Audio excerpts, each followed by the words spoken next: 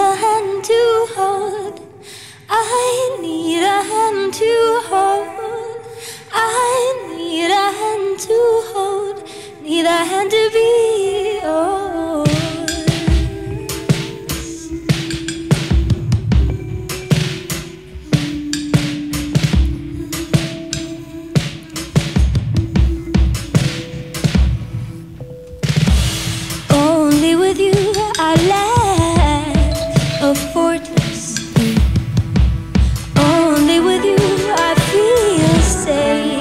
inside.